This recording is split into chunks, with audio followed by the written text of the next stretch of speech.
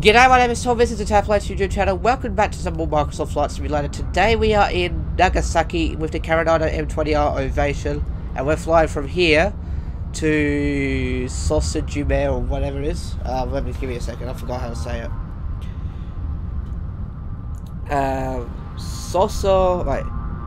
Swano Sanjime in uh, Japan. We're checking out not only the M20R Ovation in this current format, and we also are looking at the uh, Japan World update for the next couple of weeks. So we're starting from here, and then we're flying off to, yeah, flying off from um, that airport I said before, Swan, Swano Sanjime, Jamal, or Swaza Jamal, I don't know how to say it. Been a while since I said, was talking Japan.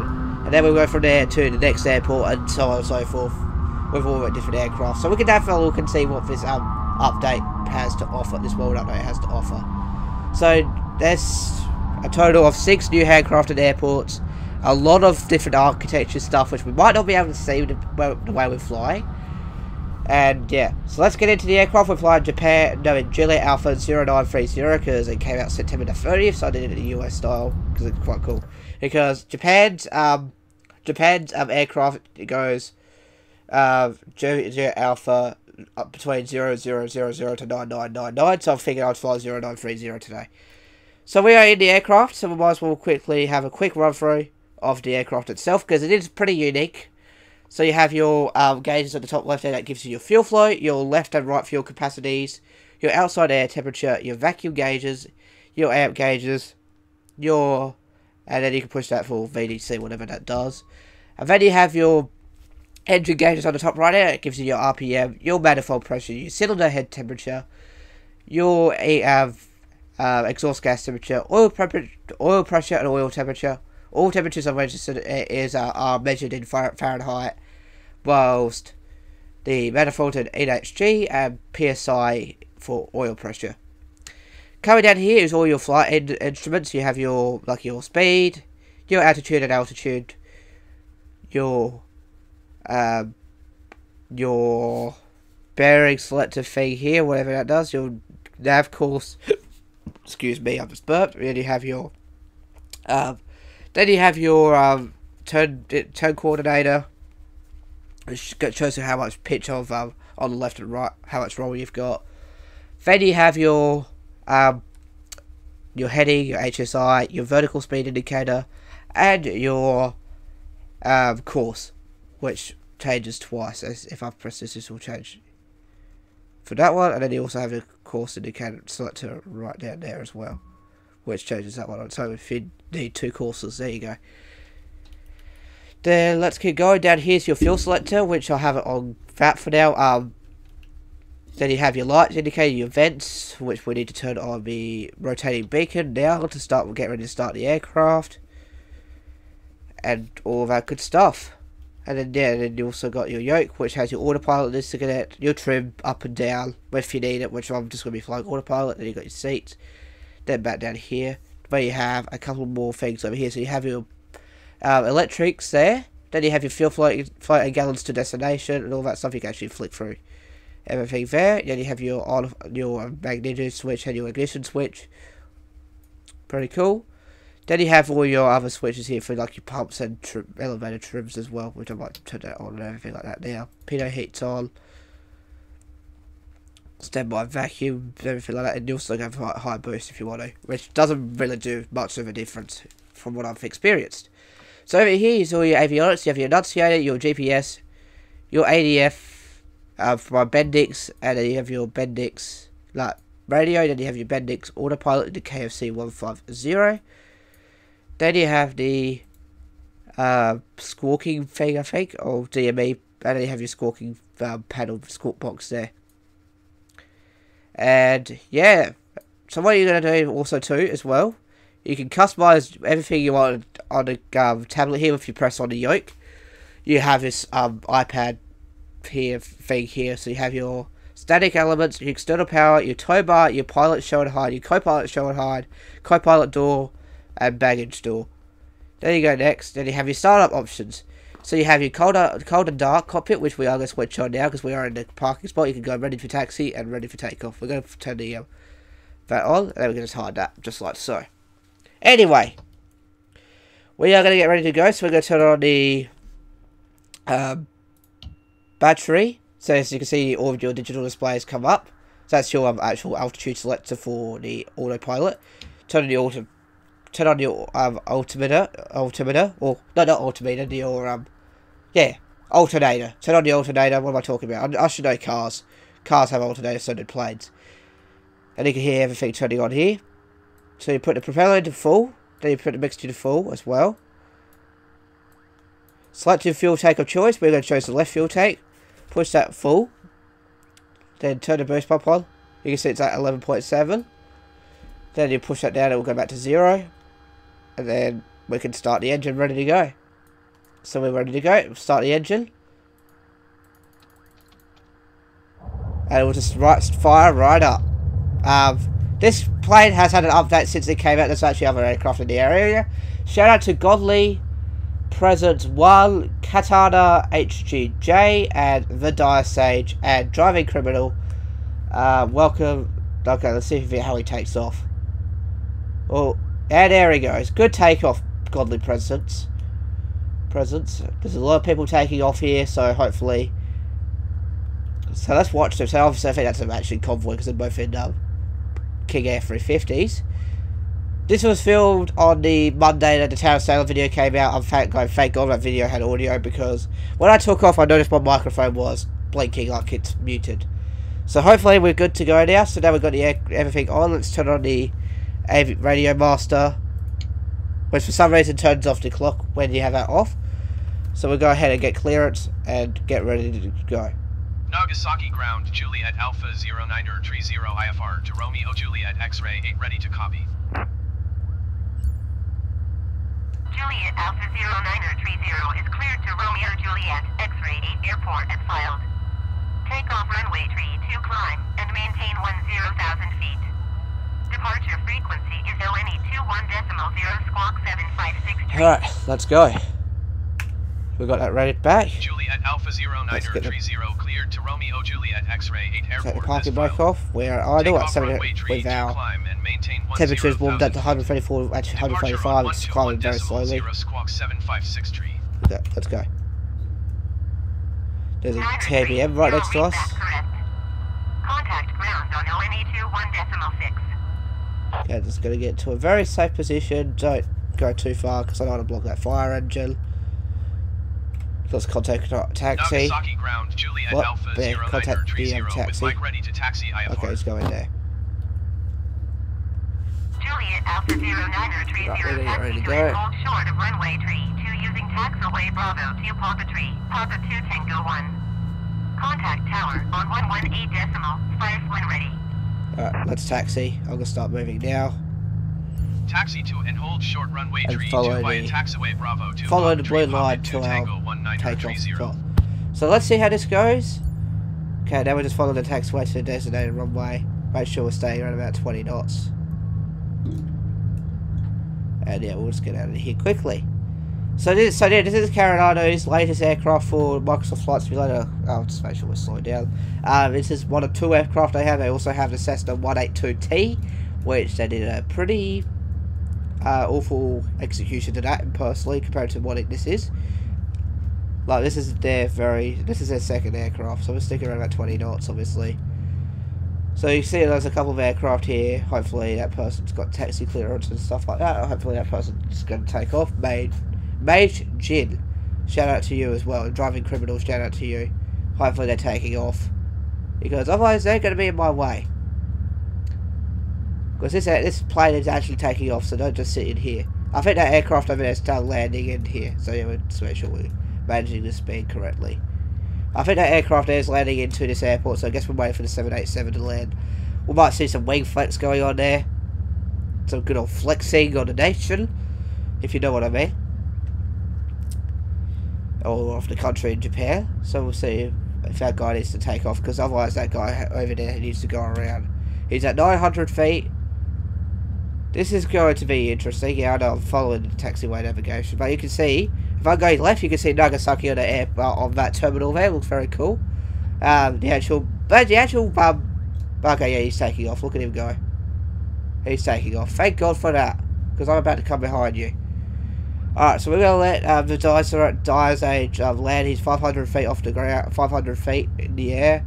He's landing here in Nagasaki, so I wonder if he's been on a long flight. If you are the Dyer stage, let me know down in the comments below what have you been up to. Where have you been in your 787 8 uh, Dreamliner? We're about to see this landing. Oh, that's pretty low pitch. I hope he um, lifts off a little bit, lifts up a little bit. Oh, he looks like he's doing way nose down. Put your landing gear down, mate. If it's not down. Yeah, no, he forgot to put his landing gear down.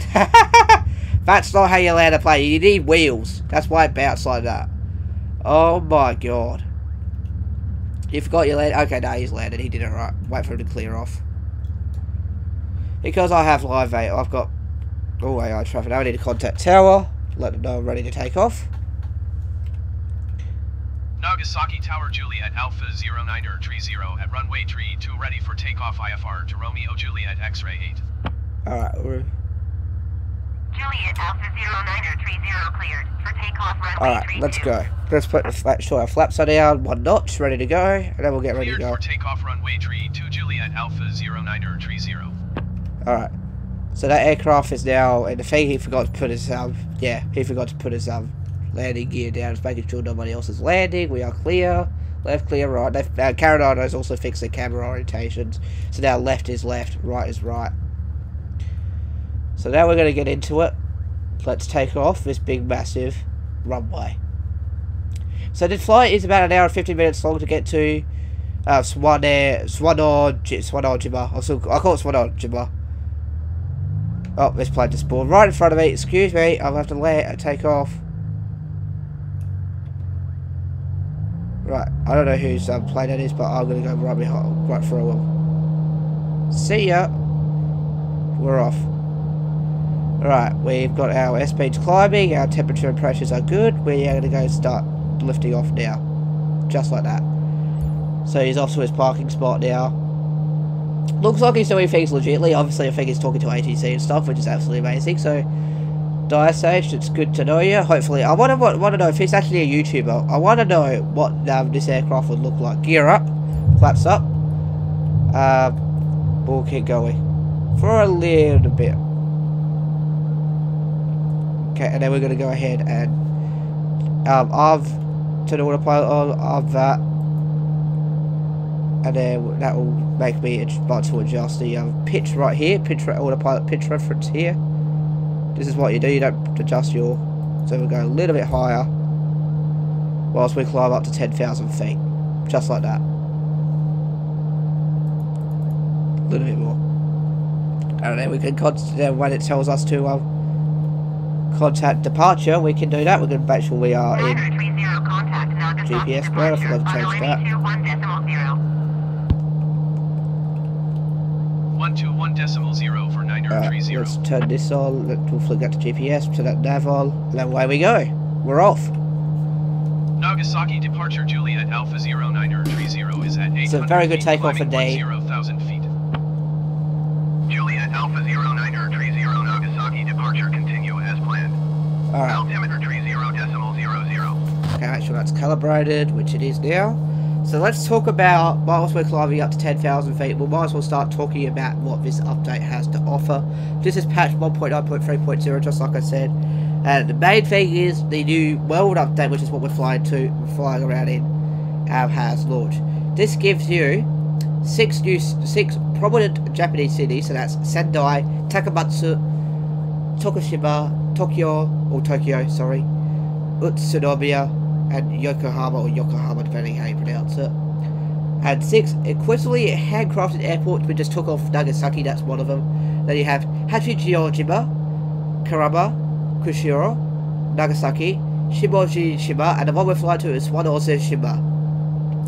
And then they'll also talk about there's new countryside um, architectures, two dozen landmarks, but there's lots of points of interest, new points of interest, like such as um, skyscrapers, iconic bridge, and shrines galore. And new landing champion, cha- uh, um, new landing cha- um, challenges, which gives you a couple as well. So, what does the patch new patch bring? So you have Three new airports added. You have Lima Echo Mike Golf, Lima Foxtrot Lima Charlie, and Papa Alpha Foxtrot Romeo. So that's Malaga Airport, Clobot Farad Auvergne, and Bryant Army Airfield Hel- Heliport, um, heliport, um, respectively. So the Fredio Airport is good at adding airports in updates, which is absolutely amazing to see. So there are some many airport improvements. There's 60 airport move, uh, improvements based on community feedback, and control towers added to 700 plus US airports. So that might include like IFR clearances, ground taxi clearances, everything like that. That's absolutely amazing. So that's very cool. So in terms of the user, user interface, there's a sensitivity screen is now displayed correctly because as in case you don't know the sensitivity, kind of sort of changed last episode as I discovered when I flew to Kit Fox STI. The manual cache management UI has been improved. ATC options should be now currently be saved. That's including your tail number and flight number and all that good stuff should be saved. Livery selection menu now should work as expected. Um, that's where you select, and then the music can now be deactivated before or during the initial download on startup. So if you don't want to hear that annoying music, you can actually turn that off. In terms of aerodynamics, the collision problems at negative altitudes have been fixed. That's great. Um, you also have braking power on ground has been tweaked to reflect more realistic braking distances like I showed you there. It's actually went better. Um, fuel consumption update mass problems has fixed for some airplanes. I don't know which airplanes they are. We'll find those out.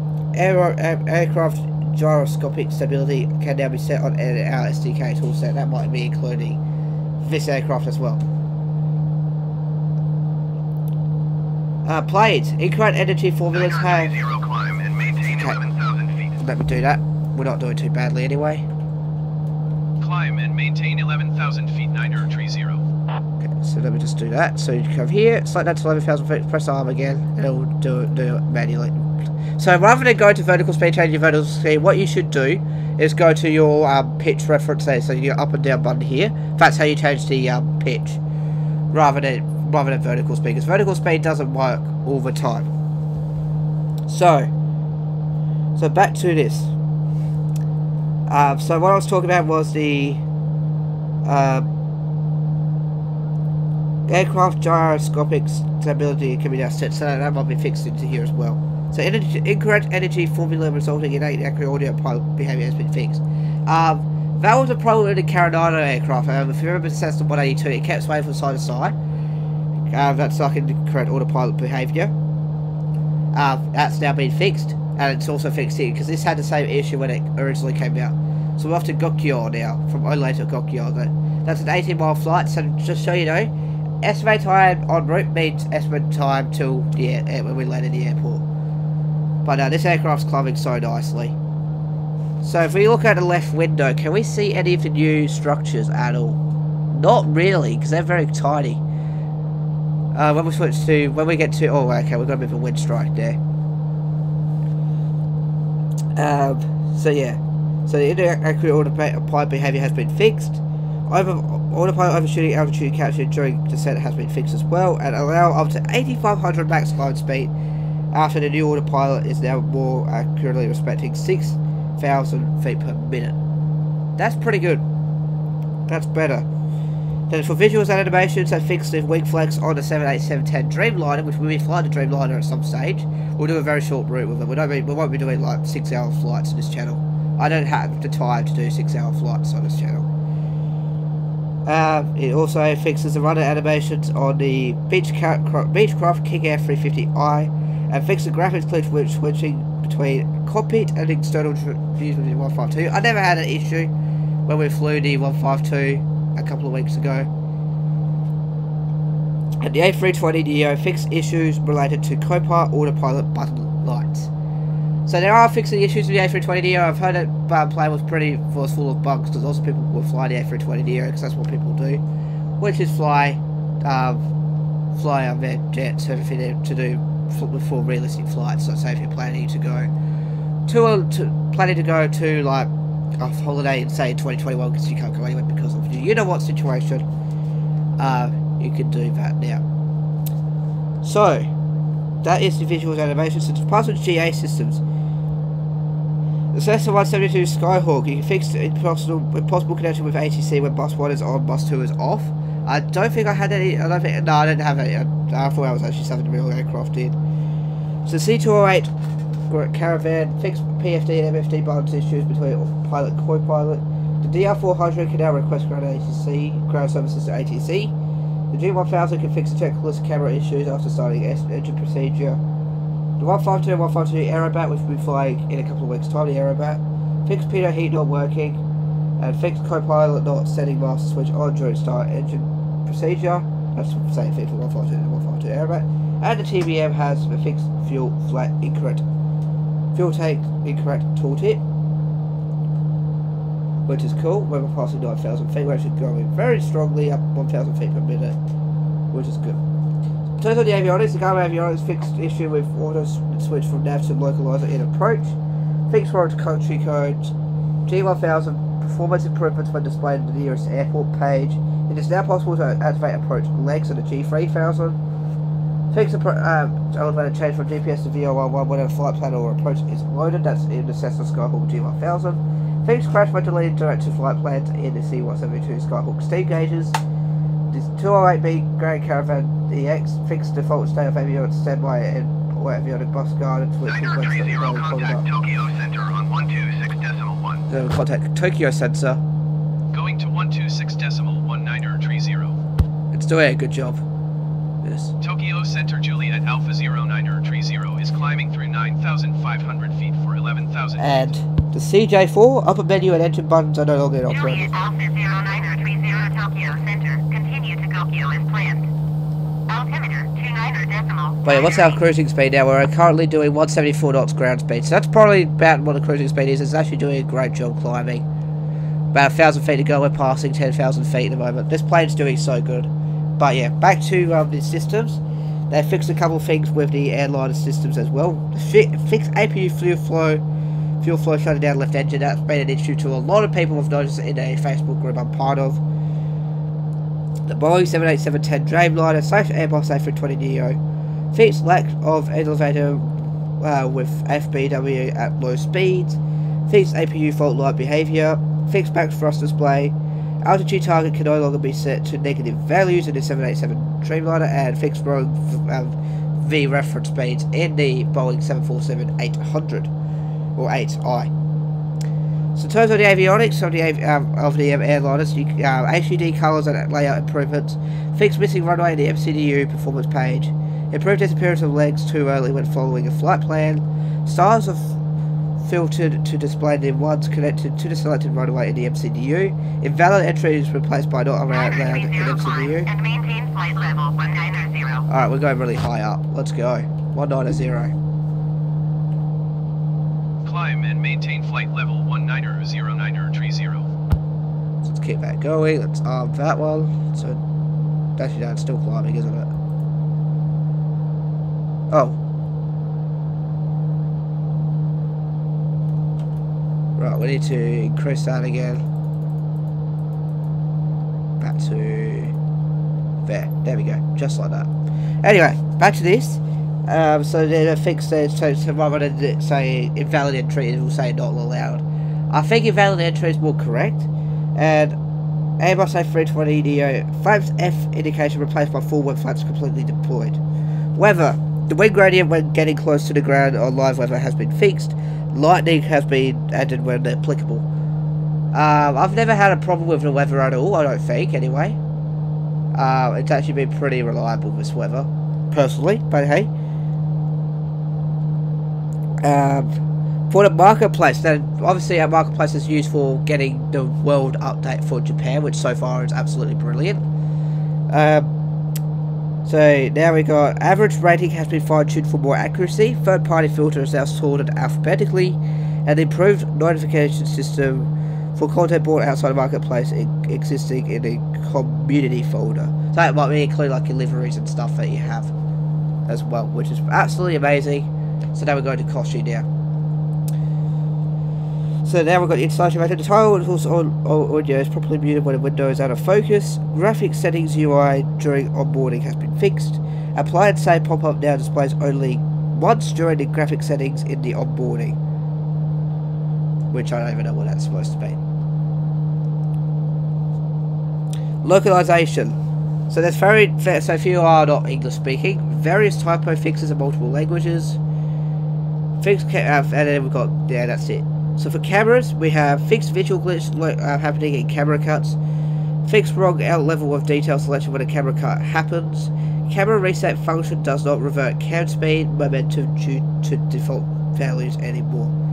And then you've got different inputs, so you've got default, new default presence for the CH Eclipse. Track IR can now be enabled, so if you have track IR like I do, I just can't be bothered getting it out.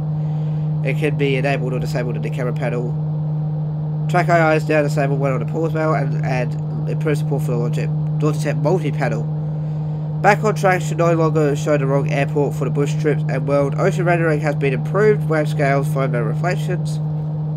Water mask has been edited to display actual aerial image near the shore in some areas. Luminance have been tweaked for some photogrammetry cities, that's including Napoli, Darwin, San Gonjonio, and Las Vegas. I didn't know um, Darwin was um, photogrammetry. That's cool.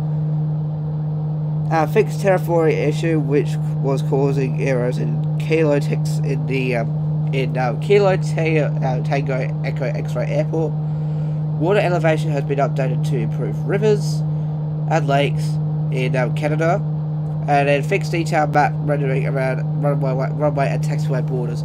That is the actual changelog for patch 1.9.3. That was a bit of a blabberlon. I do apologise for that. So now we're going to talk about some of the things that are going wrong with this update. So now um, some of the issues include the VFR map crashing the game. That's something I've definitely just experienced um, the other day. Um, if you press V on your um, keyboard, say if you're watching this on the background, just go adjust the volume and adjust my headphones. Um, if you press V, um, your game will crash. So do not press it until a patch has fixed that. Um, I highly recommend just changing. Okay, let me just see if I can adjust that now. Okay, we've got a little bit of wind up here. Hopefully it's not going to be too crazy.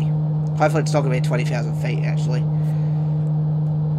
But yeah, you can't really see much up here, unfortunately. It might take a photo when we get to 19,000 feet. So if I press scroll lock, yeah, we're meant to be at 19,200, so yeah, 20,000 feet is our um, max um, altitude for this um, trip. So yeah, um, so overall, it's a pretty, pretty good update. Um, there's still things that need to fix up, such as, yeah, like I said, the um, VFR map needs to be fixed, and I think there's a couple, still a couple of issues with the A320 Neo they need to work out and everything like that, how to fix, as well as some issues with anything else. I can't turn the lights on, as well as some other things as well. So to turn all the lights on. Um, ignore that. That's actually a bug with this aircraft. But yeah, overall, this update's very full on. Um, it uh, did take me long to download it, and I think it was like an 8 gig, up, 60 gig update. And yeah. So let's see how we go. We're doing 150 um, ground speed now, apparently. So hopefully that's not too hectic. We're passing 15,000 feet. So yeah, we're, we are nice nautical miles away from the next bit. So yeah, that's pretty much the um, um, Flight Sim news. Um, obviously, there's big things. I've there's some new DLC coming out um, every month for this game, which is absolutely insane. It goes to the marketplace for quality control. Um, a lot of people I've noticed on a forum saying, please take down the Kit Fox STI. But I'm going, they want to sell it. It's only $12. It's nothing. Like, it's like if you want a really high quality aircraft, go to one of the Carenado aircrafts. Like, this is absolutely amazing so far. So there are four liveries that come with this, as well as the, as well as um, very interesting stuff. I'll show you the liveries when we get to the end of the flight, um, which will be not for a while. So if you want to stick around for the whole flight, feel free to go ahead and let me know in the comments below that you have done so. I will really highly appreciate that if you do that. That gets not only my watch time up, but that also shows that you're interested in, in the Japan World update. So I usually upload flight sim videos on Fridays because it because flight simulator starts with F and why not flight sim Fridays. But instead I did a, a um, Town of Salem video. For, no, what did I? I did an American Truck Simulator video on Friday in the um, Western Star 49X, um, which if you have missed that, I highly recommend you check it out. But yeah. So we're now at 16,000 feet, about 3,000 feet to go. The plane does really well with this aircraft for climbing, but just remember, don't activate vertical speed, use the pitch reference instead. Because otherwise your aircraft is going to crash into the ground. Uh, don't ask me now how I know that, I just do. It's annoying, but anyway. So, yeah. You can see like all the, uh, all the uh, gauges are working very correctly. So by the time we go over 18,000, that's going to be our transition altitude, then when we go to 299 and 2, high altitude. Um, high altitude, um, um, phase distance and all that once again. I might take the photo now whilst we're climbing, uh, for the thumbnail. So let me just quickly set some things up in the assistance here so we can get rid of a couple of stuff that we don't need. Such as the routes and waypoints, and then we can get rid of the so let me just save that really quickly. Let's go. Oh, that's my chair. Ignore that because there's something missing around my chair. Now I'm going to go quickly into close the uh, objective screen really quickly. Go to drone mode. There's drone mode. Can like, see our flying over to beautiful Japan. Let's go into where the light is shining. Uh, I need to hide those people. There's a lot of people flying in Japan currently. Can I actually hide those name tags? I think it's under Nav to fix still. No, it's not. How do you turn that off?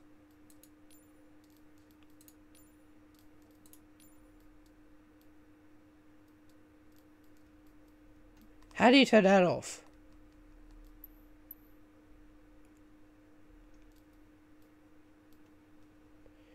Because we've got lots of people in Japan. I want to... I think it's under general. I'm trying to work it out. I haven't done this. Uh, looking for traffic. So we've got real time online, and then we turn tra traffic nameplates off. There we go, apply and save that as well. Haven't had this turned off in a bit. There we go. Oh, you're kidding me. Oh, so. See Japan sort of there. Take a screenshot. Then go back to here. Find out what the hell this aircraft is doing. That'd be great. And then I'm going to go quickly go to assistance. Turn the uh, navigation aids back on. It's cool that it's got this. Then go to the name tags back on so we can shout out some people while I fly. Uh, traffic, name tags on. Save. Can wait for it to save. There we go. Perfect. Away we go. 2,000 feet to go. We're going as fast as we can. Uh, because I think if we do more, we'll stall out. I think 1,000 feet per minute for this plane is perfect. So now we're going to talk about some of the automotive news. And we'll start with Zach Baldy. Uh, went to Matsuri and got a lap, couple of laps in the when Luke Fink's cars as well as James Nolan's cars and a whole bunch of stuff. He didn't enter the R33 because when the um, tickets came available, he was pulling up the um, pulling out the engine and doing a rebuild of that um, car. So quite sad that the R33 didn't make it to Matsuri. It might be making it next time because it literally sold out when he when he was trying to rebuild the car. He wasn't sure that the car was going to be ready by then, and it was. Okay, I need to actually increase the um, pitch if I can. Is that at 5 degrees still? Yeah, let's increase it a little bit more. So we can go a little bit faster, smoothly but surely. Um, yeah, so that's uh, yeah, very sad. He, he, might even do a video checking out all the cars in the car park. And everything, like all the very cool cars there. Like I've seen a couple of um, drift cars there. And a whole bunch of more stuff there. As well. So how fast are we going? We're doing 140 uh, ground speed, which is not great. Okay, we're past 18,000 feet, we're going to calibrate to 299, so we're 1,000 feet to go to 19,000, then we can pick our speed up and continue on. Okay, now it's starting to be funky again. Which is no fault but the actual um, wind itself. I blame it on the wind. It's very windy today here in, um, and it's minus, we're currently in the minus 4 territory. What if I can actually request 19,000 feet as our cruising altitude? Nah, I'll stick to 20,000 feet. But yeah. So it's it's definitely going to be flickering between 500 and 1,000 because of how windy it is. Because where's the wind? Uh, where's the wind coming from? I don't, I don't have a wind meter in this plane, don't I? No. I like the uh, G1000 or G3000. It doesn't have a wind indicator, wind speed. Okay, there we go. 400 feet to go. Yeah, we'll probably have to climb 2,000 feet, which won't take long at all. And then we'll be at cruising altitude. So yeah, hope you do enjoy this flight. This is something we're going to be doing for, like, like I said, for the next couple of weeks. Okay, eight, 200 feet. It's going to ask us to climb 20,000 in a minute, which I believe is our cruising altitude. 100 feet. It started slowing down because it started to get level. As you can see, we're getting level to 19,000 feet.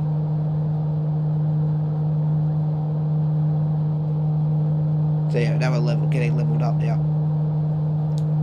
Easily as that. Still a little bit longer. A little bit more climbing. Now we're at 19,000 feet. Then we'll just sit here at 19,000 feet. Perfect. And there's our... There's another island there. We'll be exploring a lot of Japan for the next couple of weeks, like I said. So I can't wait to do, uh, do that with you. I hope you are ready to do that with me. But yeah, we'll be continuing on 19,000 feet. We're leveled. And we're sweet. So now we're just, yeah, just, yeah, just keep listening out some radio calls. We're about 58 minutes away. Because our speed's come, coming up now. We're going 160 knots ground speed. Um, I don't give a crap. Uh, but saying it's negative 0.6 knots. So if you are watching for Carenado, please fix that issue. Uh, fix it to what the actual climbing speed is. Start thinking you did that with the Cessna as well. Between levels like 74 knots. So I wonder what this VDC button does. I think I can push this button.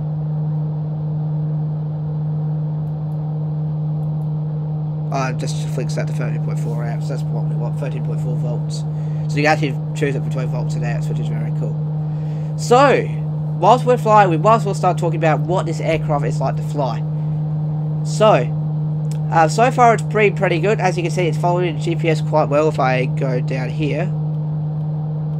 If I can. You can see we're flying straight ahead, we're not swaying like the other aircraft used to do. It actually is flying very, very well straight on the GPS line, which is what we want. And yeah, I mean, you, there's a, I mean, I'll, and yeah, well, I might as well actually finish you. So yeah, so yeah, you can fly that. So make sure you check out Sackboard if you are into Matsuri content.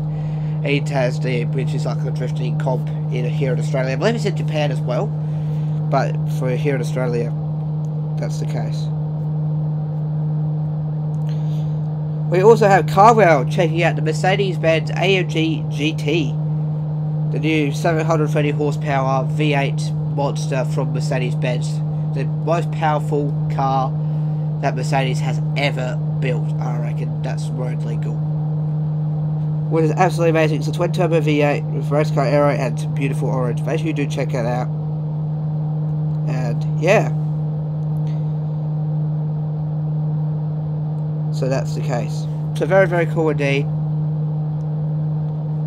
And yeah. Um, and also too, uh, DDE's been checking out a couple of new supercars to replace their McLaren P1. They can't insure it, so they can't take the car because they got denied for business insurance. Which is absolutely stupid, so he, they be selling that car back to where they bought it from. And getting four new supercars instead. He's probably going to get two Lamborghinis and two McLarens. I think he's getting a 620R and a 765 LT. As well as an Aventador SVJ and maybe another Huracan, maybe? Or they might be getting another two, two V12 Lamborghinis. I'm not too sure. Actually, I think they're getting an Urus, I think, as well. To do like an off-roading build. Which is pretty cool. But yeah, got the P1 for a brief moment time. And yeah.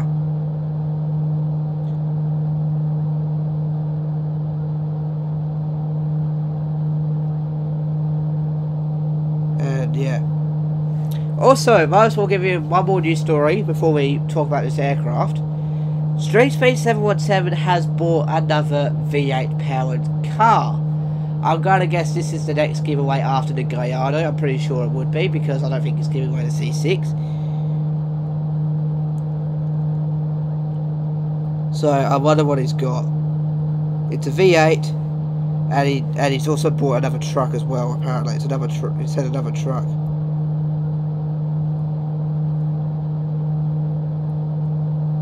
Yeah.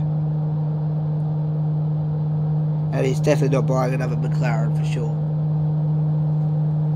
So yeah, very very cool indeed. Um, I can't wait to see it. He's also doing a video tomorrow checking out the McLaren 765 LT, which is the new replacement for 675 LT.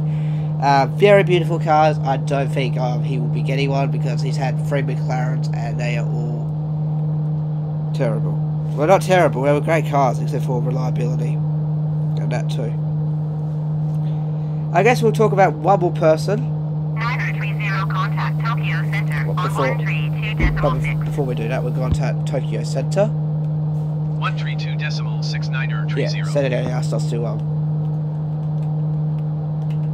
asked us to Tokyo Center Juliet Alpha 09er tree 0 flight level 190. So yeah, we'll go back to um yeah, talking back to um, Juliet Alpha 09er Tree 0 Tokyo. I've also got news I was talking about. Oh yeah, Auto Auto Rebuild has got two brand new cars for the channel. He's got a 2010 Mitsubishi Lancer ES and a two, 1975 MGB. So he's got three classic, no, two classic cars because he sold a Plymouth Fury. That's right. He's got a Dodge Coronet, which is currently at Weird Beard Auto Sales, getting um, done, and he's also now got the MGB um, 1975, which is very cool. Like he's starting to get like all of his classic cars building classic cars. Like that's absolutely amazing. Obviously, he's got his new cameras and stuff and everything like that. And yeah, I've been catching up on his videos. I'm currently up to, I think, one of the Copart walkarounds. Um, I believe I've just finished one. You can do the um, cooling system inside of the um, the cooling system inside the um, Plymouth Fury. I'm up to that. I'll pass that video. I'm up to another Copart walkaround with the GoPro Hero 9 that he just got, which is absolutely phenomenal quality. And I've watched that him check out the GMC Sierra and everything like that. So yeah, I'll be catching up. I'm still catching up with his videos slowly but surely. Because I've missed a lot of his videos uh, because I was I was in the middle of watching the 50 minute coronet video because I want to keep the videos in chronological order. So if I miss one YouTuber's videos, I'll have to watch the rest before I see what he got up to.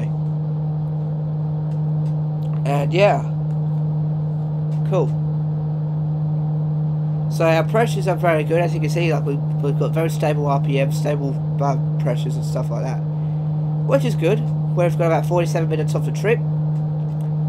So hopefully we can get there if it crashes and then, yeah, we might not see a flight simulator video in a couple of weeks if that's an issue.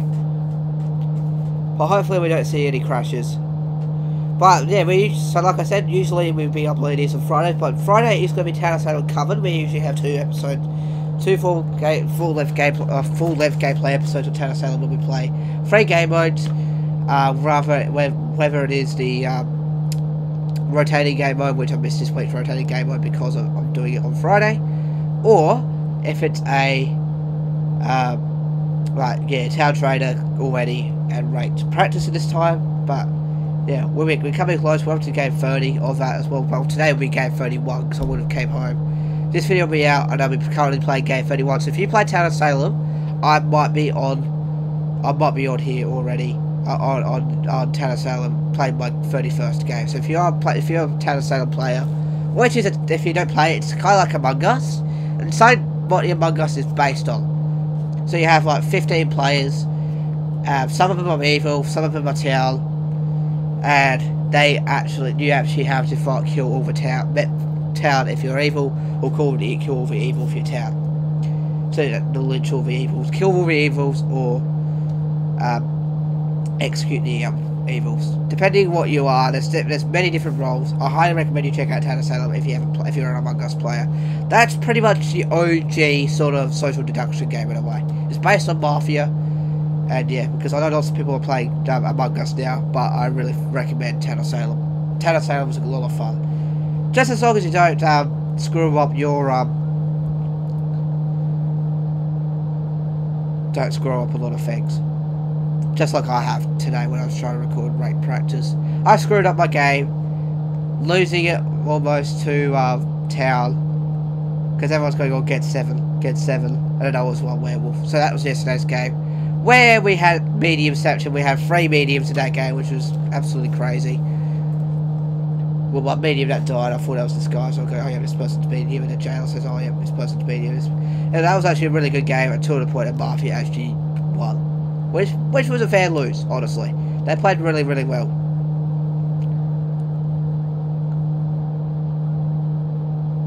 Anyway, we've got less than 45 minutes to go to our, our to our destination. So, in case you don't know, I think I mentioned it before. ETE is for the estimated time arrival to the airport. So the airport is so the airport that we're going to is in the middle of nowhere. So not like a like a, a very uh, beautiful island, which we will see very soon. We're about 27 miles to the next thing, which will take us a couple of minutes. We're doing 175 knots towards our ground speed, which is what's this say? Uh, looks like about 135 airspeed. What's yeah? So if I press this button, I can't press this button. So we're doing 10.8 gallons per hour, which is not too bad. Our fuel pressure, everything's in the grid besides from our cylinder head temperatures, which means we have to adjust our mixture, which we can do so like so. I press Control Shift F2, bring the cylinder head temperatures down a little bit into the green. Not only that too, it actually um, brings our temperature. Yeah, see, it's going down. It's going down slowly, but I don't want to completely lead it out. It might not go down, actually, honestly. I might just lower the throttle as well, if I lower the throttle. Nah, it's not going down. I'll go and bring it back to back full throttle. Full max, full mixture. That's completely okay. 433 Fahrenheit's not too bad. Oil pressure and oil temperature are very degraded, so they're performing solid. And yeah, so we'll keep we'll keep going. So yeah, what else is there to talk about? So Japan is looking beautiful, as you can see, it's over there. We'll be doing a lot of flying around Japan, like I have said before, so stay tuned for that. Uh, we'll be flying a Cessna, I think it's a Cessna Citation we're flying next, Cessna Citation CJ4, the C25C, which comes in the standard game. And then we'll be flying some other aircraft, like, we might not be flying them at all, we might fly the jets first. So we can go, and then we can do the shorter, okay, we're loading stuff apparently. And yeah, so it's nice and calm, calm we get here. 175 knots, we're doing 21, we've got 21 miles to go to the next leg. 40 minutes to go to this plane. So we'll just sit back and just chill out. Let's go, just sit back and chill, Jesus Christ. Uh, yeah, just sit back and chill. For about, for the next 20 miles, until we have to descend. So hope you, you've all been having a great weekend, hope you had a good weekend, and for you United, for you Australian people, hope you had a very good Labour Day as well, which was which is the day I'm filming this is actually on Labor Day, at the tail end of Labor Day. And yeah, and I heard Trump has the uh, situation now over there in the U uh, US, and um, you know what? Uh, that kind of sucks, um, but it's also a good thing too. It goes to show you that the thing that he promised doesn't even work. So that means it's not until because they're going, oh, the um, there's going to be a COVID, you know, there's going to be a vaccine next month. I doubt that's the case because obviously it didn't work, so it might not be till next year because because it's not safe. Like it's not safe, you can't tell.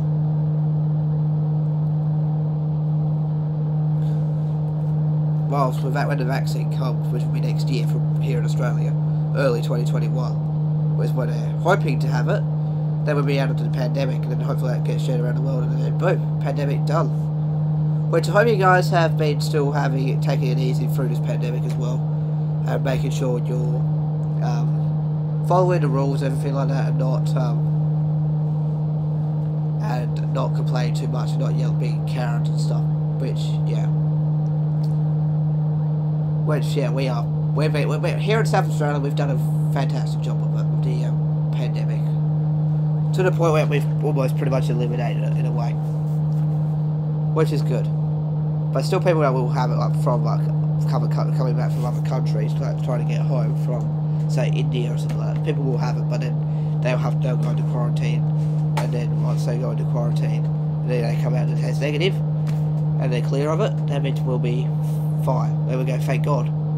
We don't have to go into another month lockdown. Like you poor Victorians over there, I feel so bad for you. Um, 19th is only a week away. Um, make sure you're still following the rules that the Premier has set, otherwise it'll be longer. But yeah, on, I don't really all that guy's decisions, but I'm not going politics. This is our political political um, video, so let's not make it that. But make sure you follow the rules, and everything like that, and you'll get there. Because it looks like it's dying down over there as well. But yeah, obviously if you see, if you're from Japan, and if you see your house uh, from up here, which you probably won't, but if you do, uh, let me know down in the comments below. Um, obviously speaking English because I don't know every or speaking Hiragana or Katakana because I don't know a lot of um, I don't know a lot of ja I don't know much of Japanese like much kanji and stuff. I only, I know basic stuff like what some of the verbs are, but yeah. In other news, so I guess I'll announce this. Um, Junior City Gaming is now back. In case you don't know, I used to be part of Junior City Gaming YouTube channel. I used to do like convoys and stuff a couple of years ago, back when I, my channel was at. Back when my channel was active and I was doing streams with um, uh, senior and um, junior. Um, that channel is now back, and they're not just doing truck channels for now. For now, until senior's um workload has been um, sort of died down. Would be good to see the channel back. I kind of miss having that um, YouTube channel. Um, I'll have to catch up their stream that they did on Among Us. I would love to see how they went with that. But yeah, it's quite it's good to see that their channel is back and operating again. So they'll be operating weekly now until Cindy comes back and making truck content again with um, yeah, Junior and all that stuff, doing like mod reviews and weekly drives, and all that stuff. Back when the old format, when the format actually worked, that's when I used to tune into Junior City Gaming all the time. So it's good to see that the channel's back. And yeah, I'll be back to watching them, not week weekendly, because it's like 10 o'clock, I'll probably be doing other stuff at that time. But, hopefully, they uh, bring Channel fully to back to the way it was, because that's the way we liked it. I mean, because most people don't like stuff change.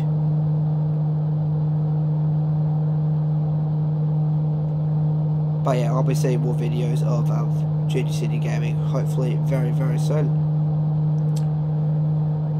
Because it sounds promising that, that that channel is kind of coming back to the way it was a couple of years ago, back when they were making videos.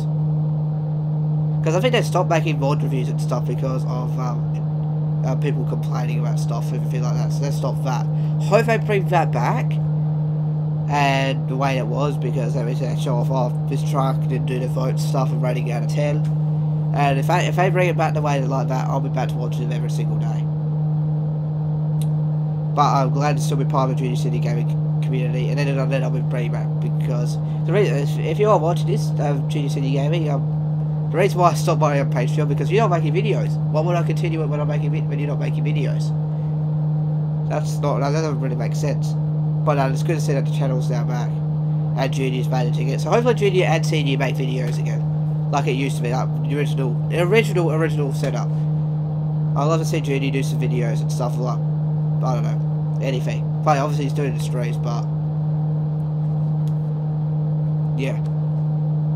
But hopefully we'll see some more stuff from them again. Anyway, four miles until the next waypoint, we're going Koshi. We're 35 minutes away from the airport, well 36 minutes away from the airport. So we'll be doing a visual approach, I'm pretty sure it's the um, ILS approach for this airport. Sadly. And for some reason the, the um, line there is alternate colours. So we're on the white line now, so then we go to the purple where it's quite suited to mine. It's usually purple the current leg. So that is Koshi right there. But it's doing really well. This plane is doing fantastically. Like, no issues. It's warming up. It's, um, yeah, the engine's uh, running great. It's at 430 um, cylinder head temperature. Here we go, that next one's about 28 miles away. I think it's actually on that island there, that airport. So it might be a bit. I think we need to start um, descending soon. But yeah, this air. So uh, let's now that we go over news and stuff away, over talking away. Let's talk about this aircraft and how what I think of it. So we'll start with the pros and then we'll talk about the cons. So we go to bumper now. So first of all, the pros. This aircraft is unique. Like the interior is unique. Uh, the only thing that's not unique is the GNS 530. That's the only thing they have left from a default aircraft. Apart from that, I mean, the um, gauges, they're not in any other default aircraft. Um, the actual aircraft design, it's not from a default aircraft. It's a very unique aircraft, and I give it credit for that. It's the most unique one that Carenado has made. So that's that. Uh, there's also the fact that it's a very high altitude to fly, and it's also got a very quick cruising altitude speed compared to whatever other other pay where aircraft is available, which is great. So that's it. There's actually a lot of things to talk about. This aircraft, this aircraft is absolutely brilliant. Um, and it's also really easy to start. There's no, I mean, yeah, well, we'll talk about the cons in a minute. It's really, really easy to start, and it's a very, very good aircraft to fly. It's very stable. It's smooth. It's quiet. It can, it's at 2,500 RPM. It doesn't use much fuel. It's using 10.7 gallons per hour which we do have 37 gallons left to the destination, which is not too bad. And yeah, very easy aircraft to understand. The cons, number one, I would have to say there's no checklist, which is annoying. Uh, because, because it would help to know how to fly this aircraft. So that's that. And that's pretty much the only that there's no checklist. I honestly think this is the best aircraft right now available for Microsoft Flight Simulator 2020. So, do I recommend it? Absolutely. Go ahead and purchase it. The M20 Ovation is definitely well worth the money you spend on it. It's about 40 something dollars Australian. I highly recommend you purchase it. And yeah. So you can either purchase it through the Windows Store or Steam. On the Steam version, it goes to Steam, turned into like credits. Then you can buy and download it. Which is good. So I highly recommend it. It's so it's such a good aircraft. I saw some video, I saw some photos on the uh, Flight Simulator 2020 Facebook group, and it looks great. Like it honestly looks great. So the video schedule for the rest of the week. So tomorrow we will be playing OMSI 2. Thursday, and Friday it's Town of Salem. Saturday and Sunday. Saturday is episode 10.2 of OMSI 2, which will be the MAN-NG. Make sure you tune into that because I'll announce what the next um, category of buses are and then on Sunday, it is also obviously 2, the no commentary drives begin. And then back to regular schedule next week of Monday, Tuesday, Town of Salem, Wednesday, obviously to Thursday, Town of Salem Classic, and then Friday, obviously 2. the Friday Flight Simulator 2020, and yada yada yada for the rest of the yeah. That's that's the regular schedule. I like keeping it to a schedule as well. That means then I can keep like some videos the same days, which is great. Like I, that means if I if something fails, then something fails, I can revert to the original schedule if I change it. Which this hasn't failed yet, which I'm so highly surprised it hasn't yet. But, yeah, it's definitely a great aircraft to fly. This aircraft. I believe that is actually where we need to go. That's the um, actual um, island we need to go go to for, it, for where we land. We should be getting ready to descend very soon. ATC should be telling us to descend, but yeah. But hopefully you be hopefully you do enjoy the next couple of Flight Simulator episodes when we check out the world update. I think the world update is definitely a big thing, and then I think so. Then it's North America next. We might be number four, like uh, Australia. I love to do a world update around Australia, like doing like multiple legs around Australia. Like do a flight around Australia, showing you every um, town of Australia, what's unique about them, everything like that. Because I'm Australian, in case you can't tell from my accent. I'm actually from Australia. Um, South Australia to be exact. Um, yeah. Yeah, which is absolutely beautiful. Uh, beautiful, um, except for winter and spring, which is very, which have this this spring has been having alter, alter um, alternating te um, temperatures. Seriously. All right, so we are 30 minutes away from landing. Our our, our video's been going for about an hour now, so hopefully you are, you are still tuned in. Say Mooney in the um, um, comments down below if you are still watching now. Mooney. That's M-O-O-N-E-I. Mooney. Because we're flying a Mooney. Uh, we're almost at the end of the trip anyway. So that's good. And yeah, this will be um, yeah, today's video, rather than Town of Coven, which will be coming out on Friday. So make sure you tune into that. Um, when we check out, I think it's Town Traitor, Coven Trader, I mean whatever it is, Coven Town Traitor, as well as um, covered already, as well as ranked practice, we should be up to game 30. Hang on, 32 will be tomorrow. No, 31 tomorrow, 32 Wednesday, 33 Thursday, yeah, game 34, 35, and 36. So soon I won't be playing the game every single day. I'll be playing it um, exclusively on channel after that. Because the only reason why I'm playing it every single day is because I want those games that to go up very quickly so we can get back to rate. And start leveling up our ELO to see if we can get up to 2000 ELO, if not higher, in the long term. So we'll be playing... I won't say what we're doing for episode 100 because that's coming up very, very soon. Soon. We're up to 85 episode now, we'll be coming up to episode 100. I've got a pretty good plan for that video. And we'll see how it goes. And that's when we hold off Town of Salem until I finish my course. Because I won't have time to do it. Unless I do it on a weekend or something like that. We'll see how it goes. So we've got 10 miles to go until we need to, hopefully, hopefully the um, ATC will descend us soon. But they've been pretty quiet, which is great. That means we're doing the right thing. I believe that's the island we're actually uh, descending to. I believe that's the island, because if I remember correctly... I think that's, that Mount Fuji over there? Is that Mount Fuji? Oh, what's happening over there? Oh, what's happening all the way over there? But yeah, you can see the interior is very good quality as well. That's another pro. I think that's Mount Fuji over there. Or Mount Everest. It's either Mount Everest or Mount Fuji. Well, Fuji. Fuji is how you say it. Fuji. Say after me. Fuji. That's how you pronounce it because that's how you pronounce it in Japanese. Fuji. Fujiha or something like that? I, don't know. It's a weird way of saying it. Fujiha, I think that's it. If I remember correctly. If my Japanese um, doesn't fail me. Because I don't remember anything from Japanese two years ago, honestly. I'll, I'll work it out, yeah. But I still remember some of the things like High Genki Disc, yeah, or, Genki Disc, all that good stuff. All the basic stuff I still remember.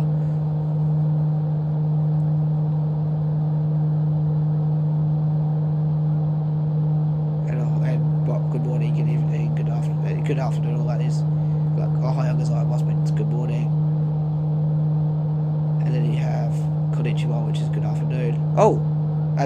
actually what happened there. 930, you are at 1 miles north. Maintain present heading and altitude. Expect vectors visual runway tree 2 approach. Alright, that's our approach. So we got Maintain present heading and altitude. Expect vectors visual runway tree to approach 9er tree 0. and I could show you. Um, I was actually going to do it the other way, but I had issues trying to um, take off from this um, air, runway. Uh, runway. I'll show you why when we land. We're about 80 miles away, so we're actually getting into a descent. So we're still following the GPS for a little bit longer, and if it tells us to turn left heading. So we're maintaining present heading and altitude. We are officially Okay, so the other approach, we don't have wireless and it's our runway, which is very fine. So we've got three miles to the next one. We'll just keep following the GPS until we get there. I don't think you can program the um, program the um, thing here. So if I go to procedure,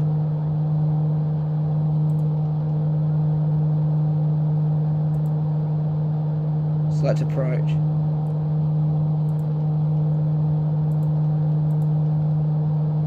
No, let's get out of there. I tried it. Otherwise I would I would just activate it if I could, but there's no, oh, you can't do that because we need to fly visually. So that's where we go, that's where the airport is, about 80 miles to our 10 o'clock-ish, about 11, 10 o'clock, so we're actually flying due north. So we fly past Mompa now, then would go to Map, which is 50 miles away, and they would be getting ready to um, land the aircraft now. But yeah, so cool. But that's the actual trip pretty much almost finished. Uh, this aircraft has done phenomenally well. Um, I highly recommend you go ahead and purchase it. I'd give it an 8 out of 10. There's a couple of things they could change and stuff like that. Like, um, obviously the GPS is a bit funny. Okay, there we go. Now it's changed a little bit. So since we're going to runway 32, we can change the course to 320 that's where we're landing, and then we can actually put it on a local. Well, actually, it's not going to be um, localizers and stuff because it's visual. But this aircraft has done so well.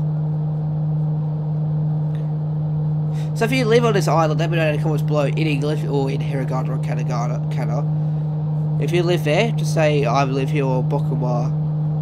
Bokuno. I forgot what the word for house is. Or Boku or Watashi. Watashi no. Trying to remember what house, what the word for house is. Is that Huma or hang on? Is that Huma? Oh, not. What is it?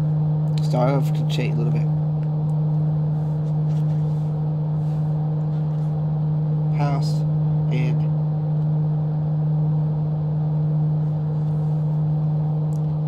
Yeah, that's right. Yeah. What was I thinking of? Ie. So, but, but say like, watashi no ie wa, or, or watashi no ie ga arimasu. That's what the, what you say in Japanese. Japanese. That, that means there is my house. Uh, Niner please expedite your descent to 2,400 feet. you didn't ask me to take descend to 2400. All right, we're gonna climb down to 2400 feet. Jesus Christ! You didn't tell me to do that. All right, let's descend now.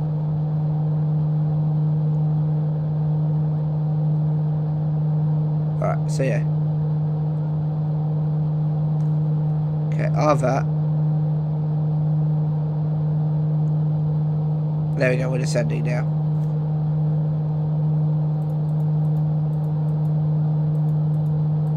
Let's descend as quick as possible, we're starting our descent now. That's, yeah, that's directed to me, yeah. 9030 descend to 2400 feet. But yeah. So EA is your um, word for Japanese. That's right. Uchi. Zero, please expedite your descent to 2,400 Yeah, we're descending. Don't panic. We're but it's gonna be a very long descent. You should have told us to do that. Yeah. Yeah, actually, EA's outside, but EA is also means house. That's right. Because I was thinking Ongaku, but Ongaku means music. But yeah. So we are. So if you see your EA, um, comment down below, please. Kudasai. Yeah. I, I do know it in Japanese, as you said. So I'd say, say, say that Watashi or Boku, depending if you're Boku no Boku no ie ga arimasu. There is my house. I know how to speak Japanese. Alright, we're 20 minutes away. Because we're descending.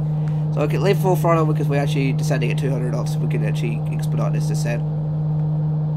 But yeah, I know my Japanese.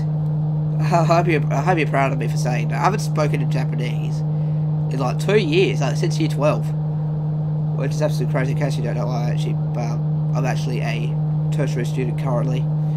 I yeah, hence being because I was. I would I would have this if it was. I wouldn't have I wouldn't have this if I was still if I was still at school. My beard and my moustache or anything like that. I, if I was still at school, I'd have to shave off every single day. That's a joy to go to a private school. I mean, come on. I believe it's the same with every other school. Yeah, you like clearly shave. And, um, yeah, because I remember when I was doing my course in year 12, uh, one of the one of the students there got told by my teacher, it's like, oh, it's nice to see you clearly shaven. I was like, yeah, oh, do you have that rule here too? I think that because it's sort of like public school sort of thing. It's, it's weird, that school, that was. Yeah.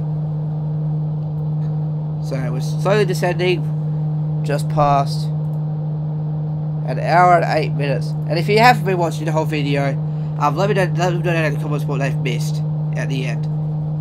Uh, just like, oh, you missed, don't say the actual thing what they've missed. It's like, oh, if you did watch the whole video, you missed something, a funny thing.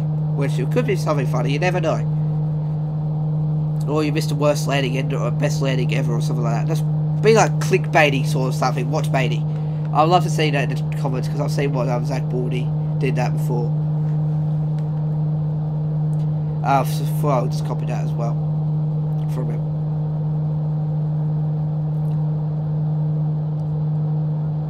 Alright, we're 16,000 feet. Let's calibrate our our um, altimeter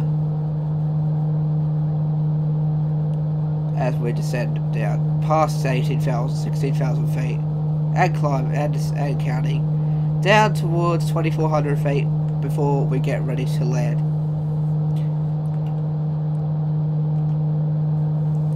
So we're 60 miles away, 60 nautical miles away from the airport.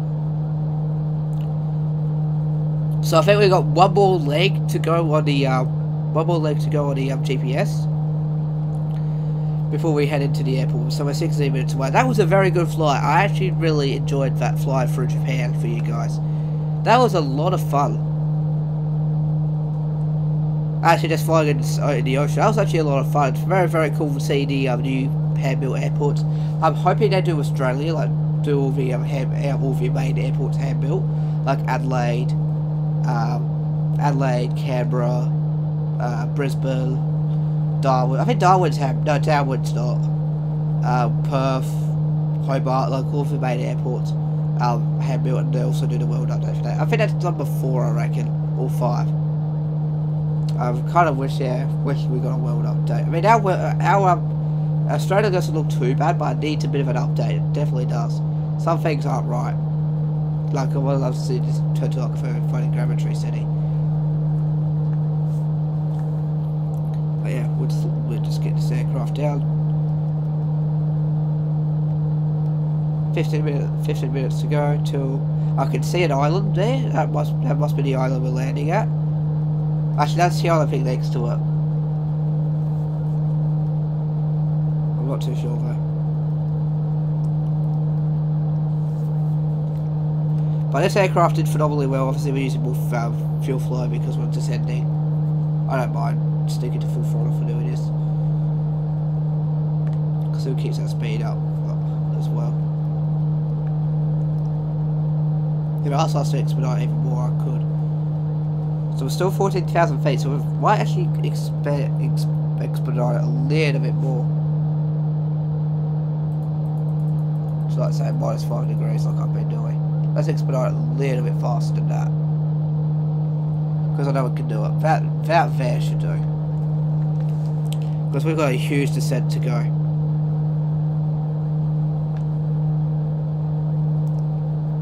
But yeah, that is the first flight, and well, might be the last flight in the M20R. So we'll get this landing done. So we can check out what. Oh, I keep forget remembering what to say.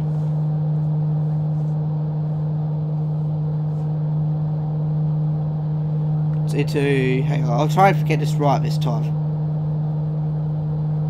Hold up, to Japan.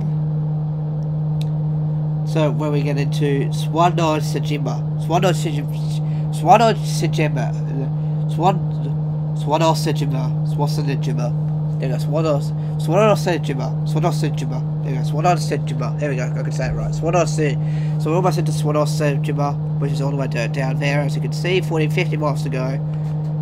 Landing very, very quickly, while getting close to 24, 2400 feet as we get ready to land this aircraft in about 11 minutes. Oh, it's only 11 minutes away. Holy crap. That's how quick it is. That's why we have to descend now. And we'll see how this aircraft land. Let's see how, how I land this aircraft. And then we'll park it. Well, there's only two parking spots in this on this um, airport. Okay, that's 11,000 feet.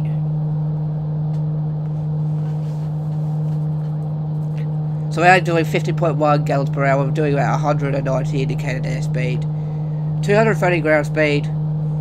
That's actually a lot of speed. Okay, we're coming out close to 10,000 feet now.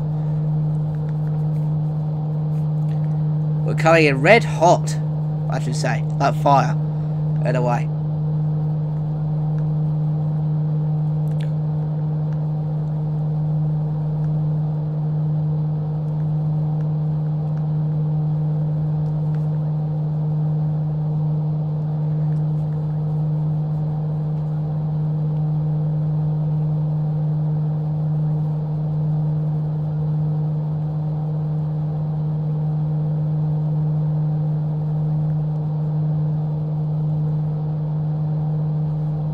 Yeah.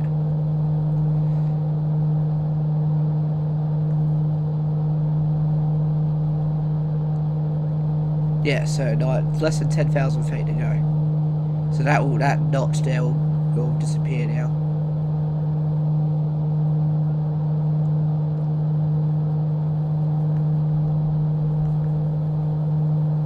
Because they are well less than 10,000 feet from the ground.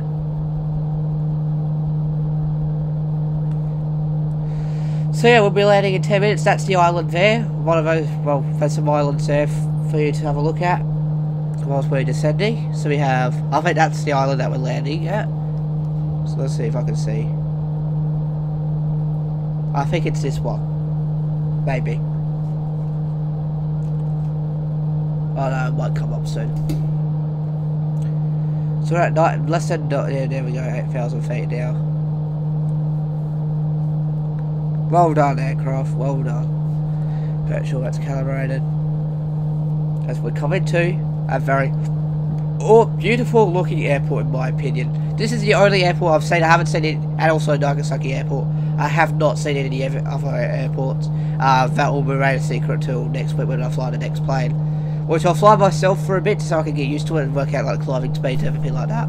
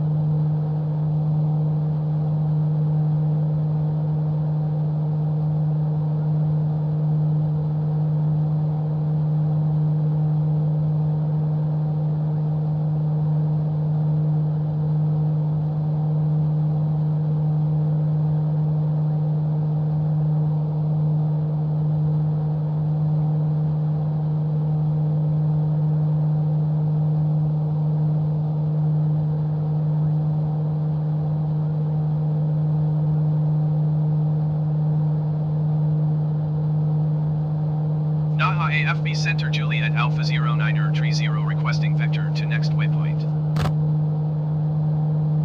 Niner Tree, zero turn left, heading 145.